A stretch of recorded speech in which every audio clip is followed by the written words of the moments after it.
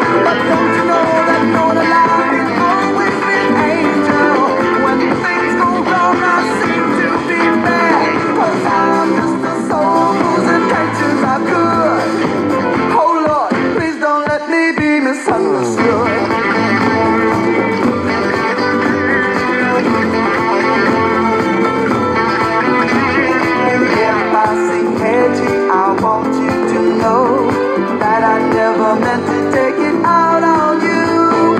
Life has its